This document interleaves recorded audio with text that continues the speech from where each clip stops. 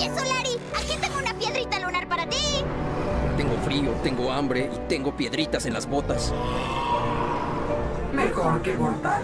Ser de metal. No puedo recuperar todo lo perdido, pero lo intentaré.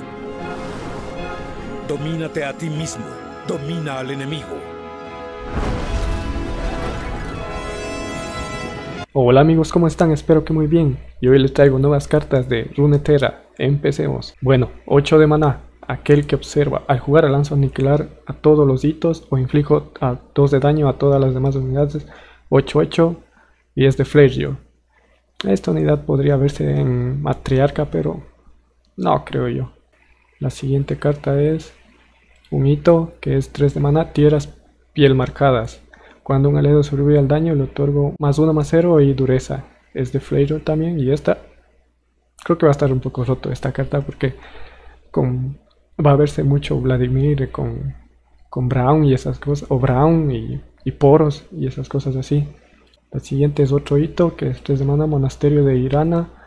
Inicio de la ronda, creo un santuario en la mano. Y aquí está el santuario, 1 de mana, ráfaga, y al final se descarta. Lanzo retirado a un aliado no se puede lanzar en combate ni en respuesta a un hechizo. Bueno, esto para un Yasuo deck lo veo bien. 5 de mana, regreso a casa, rápido. Hechizo. Lanzo retirada a una, unidad o hito aliados para retirar a una unidad o hito enemigos. Bueno, 5 de maná. No creo que se vea mucho esta carta. Tal vez en deck así mismo de Yasuo, sí, pero no la veo muy bien yo.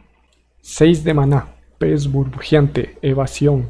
Mi costo de resurrección 1 con cada hechizo que lances en esta partida. Cuando me invocan, creo un hechizo de cuestión de, tus regiones de la mano. 3-1. Tal vez en Dex a agro si lo vea, pero pero 6 de maná y 3-1 no lo veo mucho yo. 3 de maná acorazado, hechizo lento. Inflijo 1 de daño de edad, luego invoco barriles de polvo equivalente a la cantidad de daño infligido.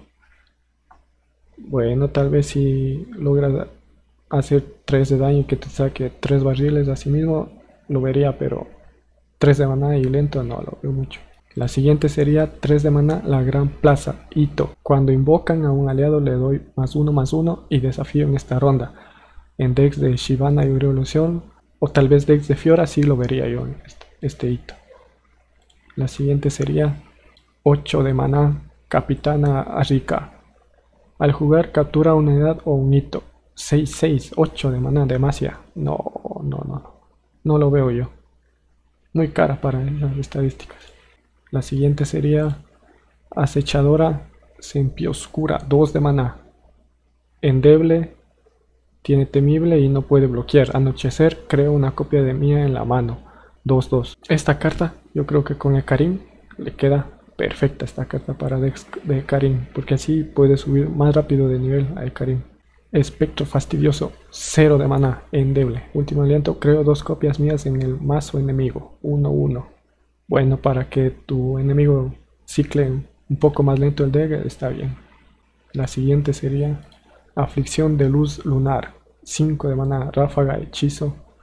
Lanzo silencio a dos unidades enemigas en esta ronda. Anochecer no pueden bloquear en esta ronda. Bueno, para Dex también así lo vería para Dex con, con Aurelion Sol, así para que no te bloqueen en late game, tal vez lo vería, pero 5 de mana y que silencia dos unidades, no lo veo. La siguiente sería 4 de maná, Forjador Solar Solari. Amanecer, recibo robo de vida en esta ronda. En decks de Shivana, cuando te toca un deck con agro, porque es un 5-4 que tendría robo de vida al amanecer. Sí, lo vería yo.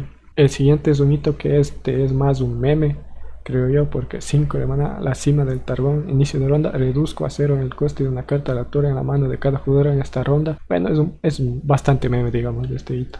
Zoe, evasión, 1 de maná. Golpe anexo, creo un mapa esteral retete chévere en la mano. O si ya tienes un igual, reduzco en 1 su coste. Subo de nivel cuando te haya visto jugar 10 cartas con diferentes nombres. Bueno, lo vería en decks agro con, con Lulu tal vez. Y esas para que tenga apoyo y todo eso. Y el, y el mapa estelar retete chévere sería es este de aquí. Mapa estelar retete chévere. 2, 2 de maná Ráfaga, hechizo, invoco una carta celestial de con coste de 3 o menos. Bueno, está bien para sacar algún estelar o... Está bien. Y, cuando sube nivel sería 1 de maná, Zoe evasión. Durante el resto de la partida, cuando invocas un aliado, le otorgo sus palabras clave a todos los aliados. Golpe anexo, creo un contempla el, infinito de coste 0 en la mano. Y sería una 2-2. Está bien. Yo creo que le, para Dex un poco agros, sí lo vería yo.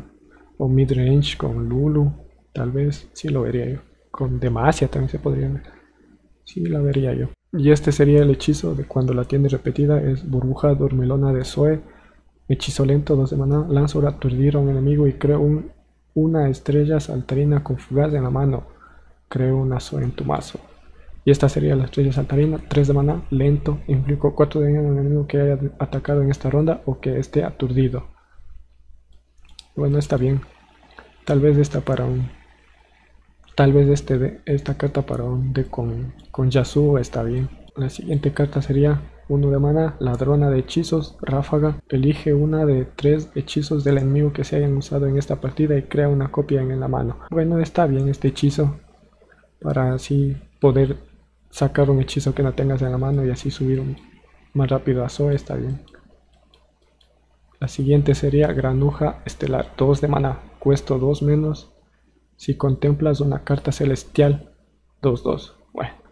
bueno, como les dije, esta, esta carta sería para para Dex Agro con Lulu y, y Zoe tal vez.